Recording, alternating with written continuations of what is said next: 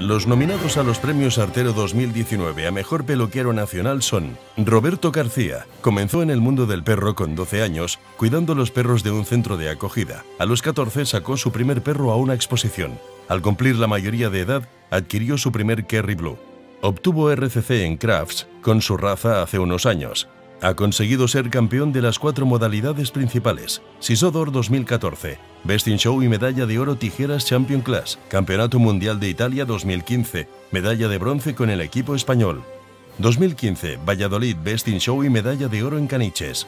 Sisodor 2018, medalla de plata Stripping Champion Class, medalla de oro tijeras Champion Class en el Campeonato de Valladolid, medalla de oro tijeras Champion Class en Calonja, Girona, Grumeval Valencia, medalla de plata Champion Class, Artero Grooming Slam, medalla de oro en Champion Class.